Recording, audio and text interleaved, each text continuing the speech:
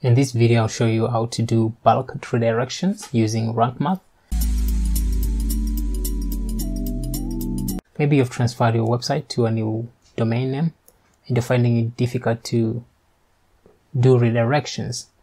This can easily be done just from the register, domain register, by just setting a 3 or 1 permanent redirection from the old domain name. However, if you want to do this with Rank it's easy uh, log into your WordPress dashboard. I'm already logged into my WordPress dashboard.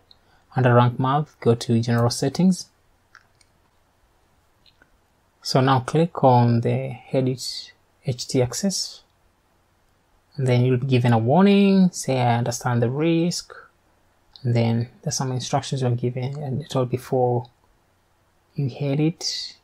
Make sure to create a backup. But the good news is that uh, rank math creates a backup for you so you don't really have to worry about this. There's a backup that is created for you. It will just be another htaccess file .bk that is .backup or .something. So that will be the backup. To do bulk redirections go to my website. There's this article I created on how to redirect to a new domain using rank math doing bulk redirections scroll down. I'll leave it in the description below. Scroll down. This is the code we wanted. So let me explain something. The whole domain.com uh, is your old domain url so make sure to change to the old one. And then the new domain is the new domain that you have acquired. I mean the new location of your website because you've transferred your website from an old domain to a new domain or you've changed your domain name so make sure to change this substitute this one with the actual domain the whole domain and this one with the new domain. And then now okay click I understand the risks. Once you click they will allow you to edit then create a dash and paste it. Make sure to change everything here change your old domain change your new domain.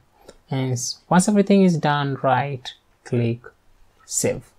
Click save changes.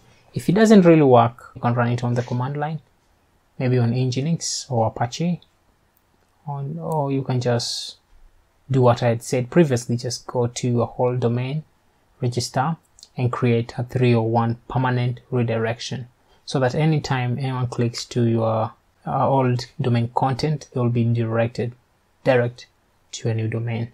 So that's it. Remember to click save and in case of any error go and restore the backup. I hope this helps